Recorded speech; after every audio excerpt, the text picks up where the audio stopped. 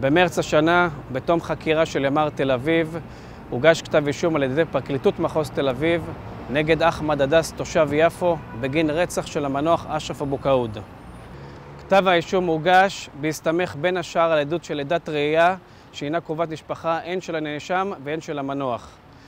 לפני כחודשיים בערב סוכות נשא ניסיון נאלח על מנת לפגוע באותה עדת ראייה על ידי הנחת מטען מתחת לרכבה, עת ששהתה ברכב, יחד עם בני משפחה וילדיה. בעקבות האירוע הזה, ימ"ר תל אביב וגורמים נוספים יצאו לפעולות חקירה אינטנסיביות ופעולות אופרטיביות על מנת לאתר את החשודים ולאסוף ראיות כנגדם.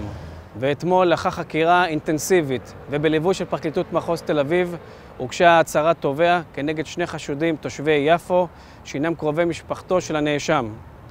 זה המקום לומר שמשטרת ישראל תפעל במלוא העוצמה, במלוא הסמכויות שניתנו לה, על מנת למנוע עבירות אלימות בכלל ועבירות אלימות במגזר הערבי בפרט.